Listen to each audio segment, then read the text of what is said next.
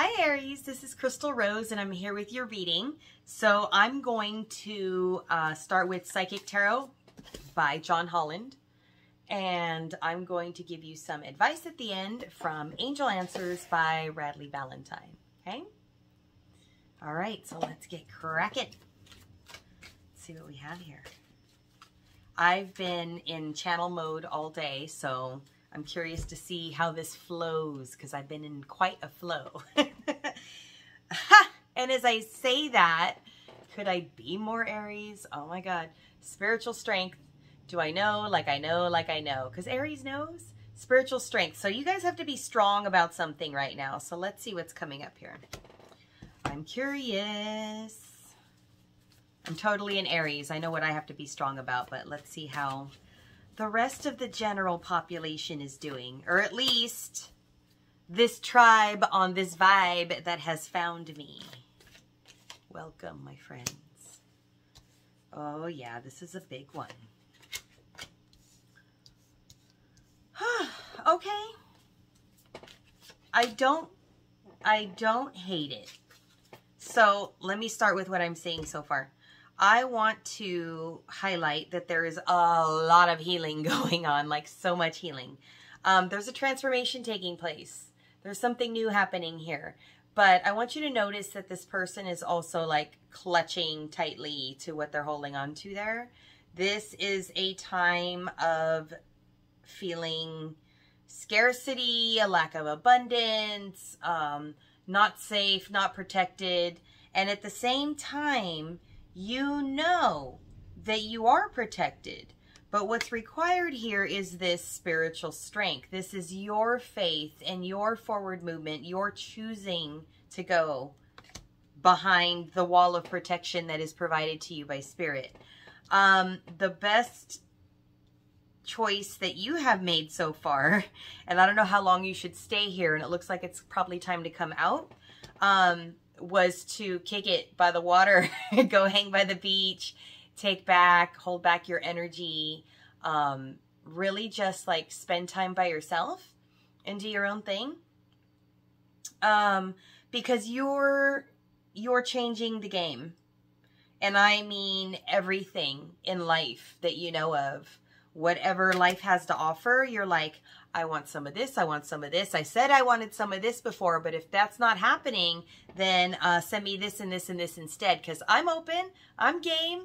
I trust God to bring me whatever, but there's also like some decisions that you've made or need to keep making um, because I know you've made some and to keep going.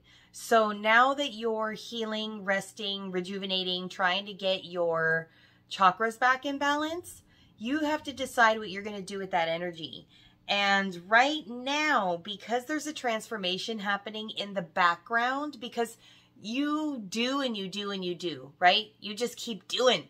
And sometimes you just need to relax. So remember, this started off with you like pulling your energy back, resting, going to the water, hit the lake, hit the ocean, hit the beach, what have you. Um, you've been through it though. So now's the time that you're pulling your energy back because you've been through it. You've been with with too many energies that weren't in alignment with the direction that you were going in.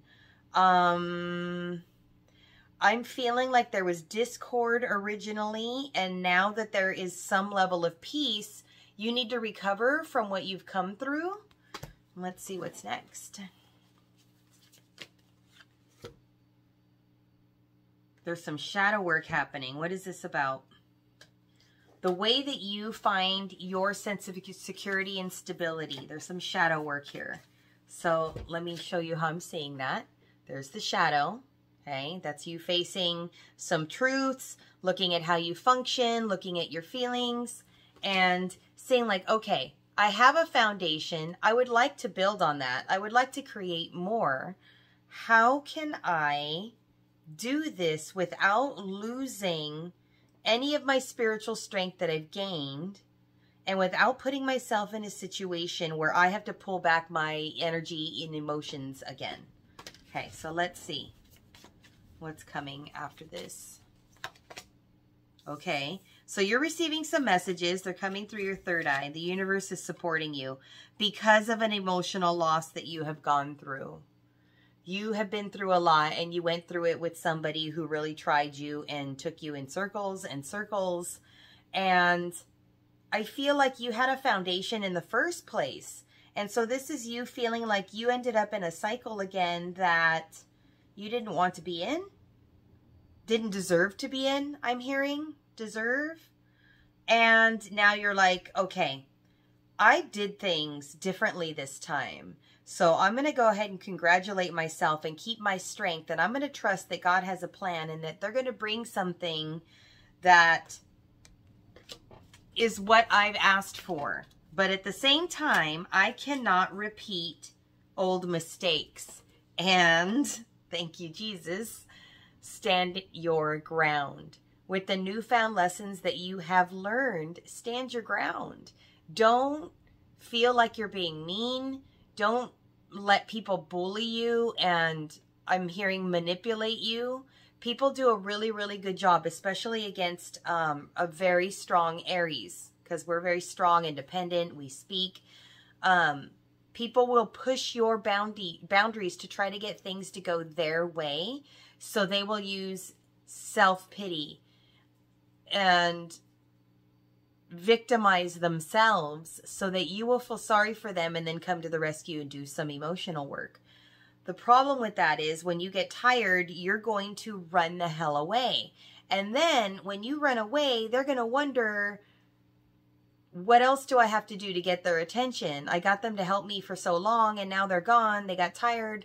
So now I'm going to bully them. I'm going to torture them. I'm going to gaslight them. I'm going to I'm I'm going to become the ultimate narcissist. So depending on how how giving and loving you were, you may or may not have encountered like uber narcissist level of stuff, right? But until that point, um it's kind of smelled like the same situation that was happening before. And rather than get stuck in going upstream, you've decided I'm going to I'm going to change things.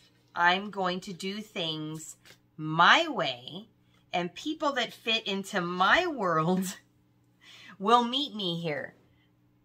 Be patient with other people. Be patient with what you're manifesting. You've already planted the seed. It's already growing and you don't know it. This is like, you ever not go into your backyard or visit someplace for a while? Like, you know, I have um, canyons up behind me, hills behind me where I go pick sage and stuff and go hiking. So there's there's times where I don't head up there for a little while and then I go and there's just this wonderful bloom of these pretty yellow flowers and my sage bush has grown. It's like I had to let it breathe and leave it alone. So this is the part where you pull back your energy, let it breathe and leave it alone, okay? So that you can receive what you had coming, which namely is peace peace. Look at this peaceful flower this energy this this you created peace. You deserve peace. Stop chasing or allowing drama. I'm not going to say chasing. You've definitely learned that lesson from what i can see here. Yes. We have a victory coming. Success is coming your way. You're getting exactly what you asked for. I'm going to pull some advice cards for you. Let's go to angel answers. Ah do you feel that sense of relief? He just made me like, ah, which is funny because it's me reading Aries reading me because I'm Aries. So really, like this is how I know I'm channeling because I get relief from what's coming out of my own mouth. Even, you know, just surprises and things when I'm reading other signs or what have you. And I know that that's not me because I'm reacting to it. So there's a good spiritual lesson for you. If you're wondering the difference between spirit's voice and your own, the way that you can tell is you'll actually react to your own thoughts and go, "Oh, that's a great idea," or "That's a that's a neat surprise," or you know, um, I'm I'm glad I thought of that it, without you having already been on the uh, on the track of solving something like out of the blue information that comes from somewhere unrelated to whatever you have going on. That's your intuition. That's the telepathy kicking in. So, I cannot make this up. Yes. Angel Answers, Radleigh Valentine. Look. Come on. Come on. Claircognizance, that's your strength. Know like you know like you know. It's the first thing I said at the beginning of your reading. I'm done. I'm leaving it at that. You already know what's coming. You deserve it. Just be patient for two seconds, okay? If you like a personal reading, find me on comfysoul.com. Thanks for watching. Peace and love to you. Congratulations on your Zen. Bye, guys.